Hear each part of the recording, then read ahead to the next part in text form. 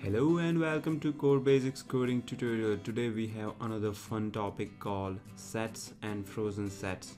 Let's begin with the formal definition of set.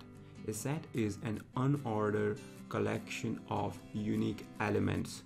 So this is something that you already learned in your mathematics class while you were in school. This is exactly the same thing so I'm going to initialize my first set. So let's say I have a basket of fruits and I want to represent that using the set in Python. So this is how I do it. You should use curly brackets right? And then you should add all your elements in the set uh, in this set. So I have a bunch of fruits that I have placed in my basket I love I like I love mango by the way. It's summer and in India uh, there are a lot of mangoes coming out and they taste so good. And then I have some repeated elements. I have two apples in my basket, two oranges and one mango. So I just created a set. When I do type of basket, it is telling me that the type is set now let's print the content of basket. When I do that, you notice that uh, orange was present two times in my basket, but this one is just showing one time. So that's what unique element aspect means. Uh, a set doesn't allow duplicate elements, so it will remove duplicates automatically. So set could be useful when you want to have only unique elements uh, for doing anything okay? There is another way to initialize set which is by doing this. So you can just initialize set like this and then you can add the elements into it. So for example I'm going to add whatever number b dot add. Sorry a dot add.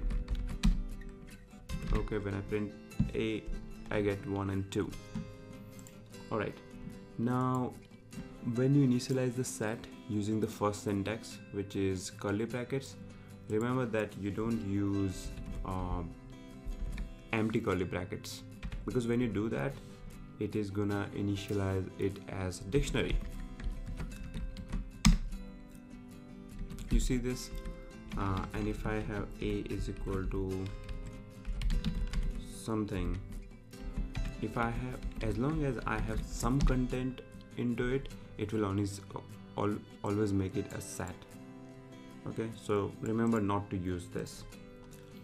Another interesting thing about set is um, they are unordered. So you cannot use the index. So for example in basket I want to access orange. I cannot do this basket 0 this is not allowed. So that's the basic difference between a list and a set. So list allows index operation set doesn't allow it. List allows duplicate elements set doesn't allow it and that's one of the primary use case of set that whenever you want to remove duplicate elements from a list you use set so for example if you have a list of numbers right? So I have list of numbers and as you see 2 3 and 4 are repeated so they are duplicate. Now when you are doing programming you will most frequently encounter this need of removing, removing duplicate elements from a list whenever you uh, face that kind of situation you should always use set. And set supports taking list as an input in the constructor. So I'm creating a set object here and this is my constructor and I'm passing list as an input and it is allowed. So when you print uh, unique numbers here you will see all the unique numbers in the list.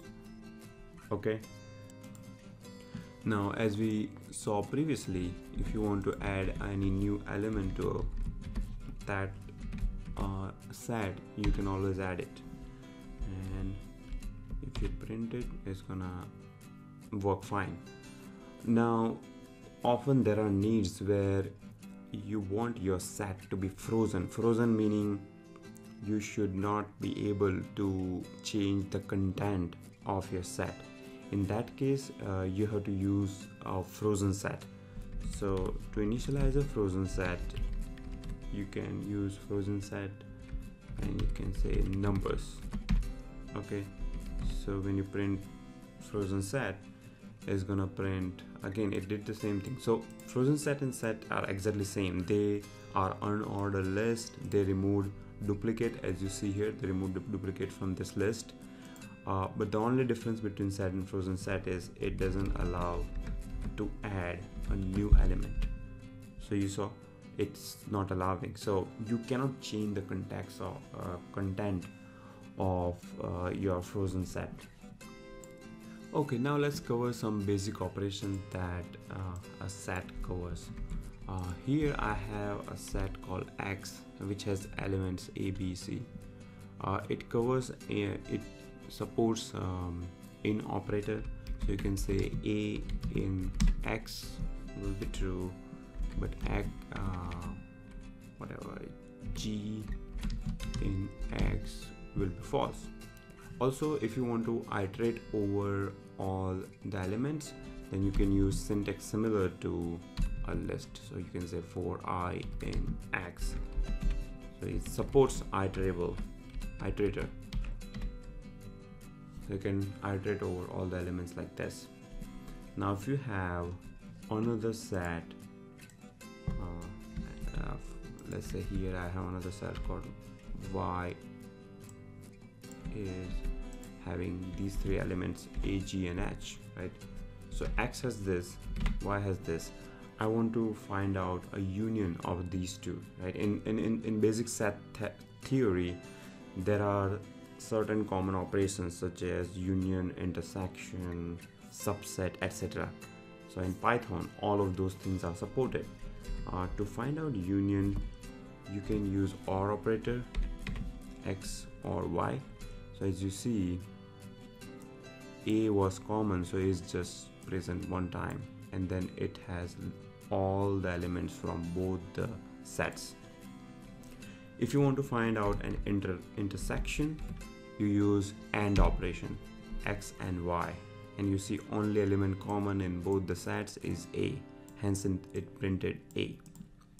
You can also find out a difference. So you can say x minus y. And that's gonna print b and c. Because from x if you subtract y a is the common element so it will subtract a and what is left is b and c. It also supports subset so if you want to check whether x is a subset of y you can say x less than y. Now here of course x is not a subset of y. If a set is a subset of another set it should have the second set should have all the elements from the first set so here I'm going to change X set and I'm gonna say okay it has H and G two elements okay? And my Y already has H and G. Now I do X less than Y it's gonna say true okay? So that was all about set operations. Thank you for watching this video